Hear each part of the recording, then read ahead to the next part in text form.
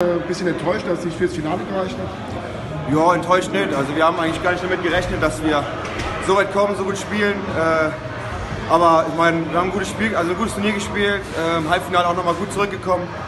Und dann klar, Elfmeterschießen oder sieben Meter schießen ist dann immer ein bisschen ärgerlich, aber äh, um Gottes Willen, wir sind zufrieden mit dem Turnier heute und haben echt ordentlich, äh, also uns ordentlich verkauft hier. Hat ja so einen besonderen Charakter, das Lebenshilfe-Turnier, aber gewinnen will trotzdem jeder. Ne? Aber der gute Zweck, den unterstützt man auch. Ja. oder wie ist das? Ja, natürlich. Also für einen guten Zweck äh, ist natürlich äh, immer gut zu spielen. Ähm, wir haben auch extra gesagt, dass das das wichtigste Turnier ist für uns in diesem Winter, weil wir da halt auf jeden Fall äh, spielen wollen, weil es halt für einen guten Zweck ist. Und äh, ja, klar will ja jeder gewinnen, es ist halt Fußball, ne? Und, äh, aber es ist auch ein gutes Turnier. Was von euch noch zu erwarten draußen in der Saison? Ihr habt ja zuletzt äh, einige Siege errungen, vier Siege in den letzten fünf Spielen. So kann es weitergehen draußen dann, oder?